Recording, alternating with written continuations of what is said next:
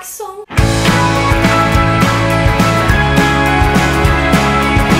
Oi gente, aqui é a Ana e o vídeo de hoje é um book talk do livro A Elite da Kiara Cass, que é o segundo livro da trilogia A Seleção. Esse livro, pelo fato de ser continuação, não tem como eu falar sobre ele sem spoilers, sem contar spoilers, porque é o segundo livro. Então, se você não sabe nada sobre o primeiro livro, eu te aconselho a clicar aqui, onde está o vídeo do, de onde eu falo do primeiro livro. Então, esse vídeo só vai ter spoiler pelo fato de ser uma continuação, então me desculpem, então assista o vídeo aqui. esse, esse, esse livro é o que mais me frustrou, que me deixou com raiva da trilogia inteira. Eu fiquei com raiva de todo mundo, eu fiquei enojada de todo mundo, fiquei com raiva dos personagens.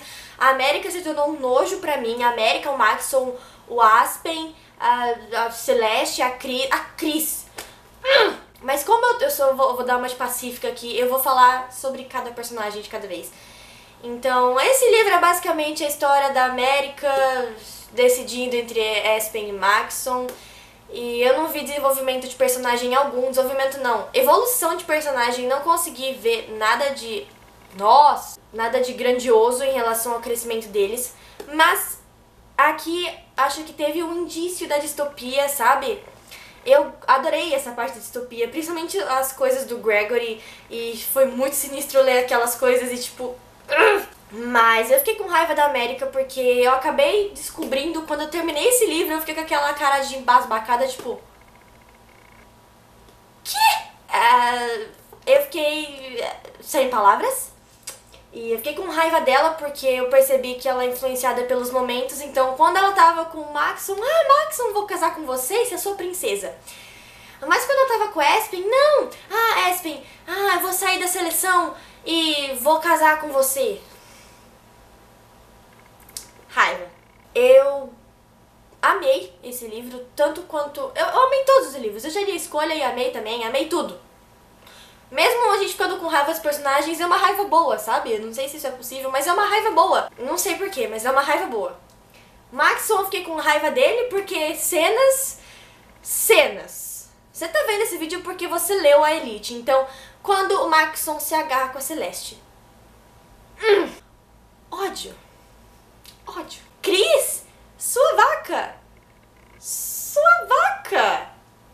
Sua vaca. Nossa, véi. Nossa, véi. Não gosto da Cris mais. Não gosto. Não sabia da existência dela em a seleção. Mas agora eu sei. Espen é um estranho, não, nunca fui com a cara dele, acho que nunca vou ser. Mas eu acho que até esse triângulo amoroso meio até chato às vezes foi o que me motivou a ler, a acabar de ler esse livro.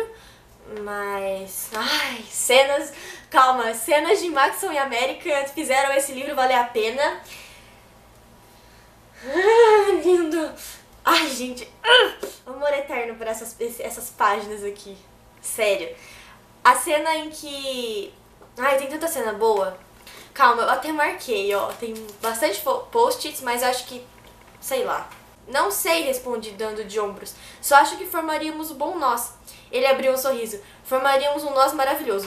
Nessa parte que ele fala que formaríamos um nós maravilhoso, eu imagino ele, tipo, eu foi essa, essa é uma imagem muito gay que eu imaginei, mas nós faríamos um nós maravilhoso.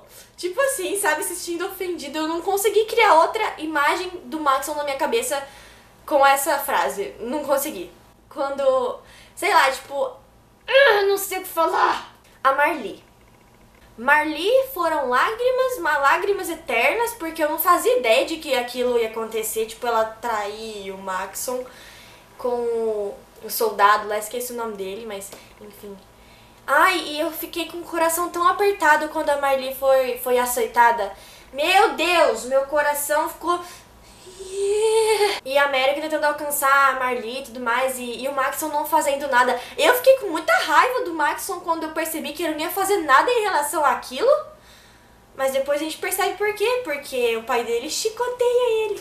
Fiquei com tanta pena, cara, quando o palácio foi invadido e eles e o Maxon e a América foram para um dos abrigos e, e ele, ele pediu, ai, me ajuda a tirar essa coisa. Pra camisa dele, claro. Me ajuda a tirar isso aqui e tal. Aí ela tira e tá todo cortado. Aí eu, tipo, Ai, filho da mãe. Mas também foi romântica porque eles puderam conversar e se resolver e tudo mais. Mas eu fiquei com muita raiva desse rei. Eu fiquei com muita raiva desse rei. Quem deixou esse filho da mãe ocupar o trono? Acho que eu nunca tive sentimentos tão conflitantes em relação a qualquer livro do que eu tive nesse. Sinceramente, eu também fui influenciada pelas, pela, pelo pensamento da América, porque toda vez que ela ficava com o Max, eu falava, ah, Max, seu lindo, vem cá. E quando ela ficava com o Aspen, eu também achava legal, tipo, tá, ela pode dar uma chance. Você foi um cafajeste, mas você, ela pode dar uma chance. Vocês podem ter um final feliz juntos, sabe? América Filha da Mãe ficou me iludindo aqui, porque, meu Deus, esse livro foi incrível, foi uma leitura muito boa. E por mais que eu tenha ficado frustrada com muita coisa aqui, eu amei. Ai, ai, ai, ai, ai, ai. A festa italiana, a festa italiana, foi tão legal aquilo, foi tão legal. Ódio da Celeste, ai gente, muito legal. O baile de máscaras, fantasia e tudo mais. E, ah! Enfim, como eu disse, eu recomendo demais esse livro, por mais que eu tenha ficado com raiva e ter amado certas passagens do livro, mesmo assim eu recomendo porque é a seleção, é, é Maxon. E é, esse livro é maravilhoso e mais uma vez a capa é maravilhosa. Fala sério, não tem um, esses, essa trilogia não tem capa feia. E a autora com aquela escrita maravilhosa dela e deixando você com um gostinho de quero mais para chegar ao último livro e tcharam com a sua vida. Não vou falar o que acontece porque isso vai ficar pro próximo book talk. Eu nunca vou cansar de ler esses livros em um dia, porque eles são para ser lidos em um dia. E você que leu a escolha, me dá um abraço. Mais uma vez, é, é isso. Eu realmente espero que vocês tenham gostado. Como eu falei, foi um book talk rápido. Então, se você gostou, dá um like. Se você não é inscrito no canal ainda, se inscreve aqui embaixo. Então, comenta como você achou de Elite, porque só duas pessoas... Só duas pessoas da minha sala leram Elite. Então, se você leu, me conta o que você achou aqui embaixo nos comentários pra eu poder discutir com você sobre isso, porque eu quero saber sua opinião e tudo mais. Então, eu acho que é isso. Mil beijos pra vocês. Fiquem com Deus e até a próxima!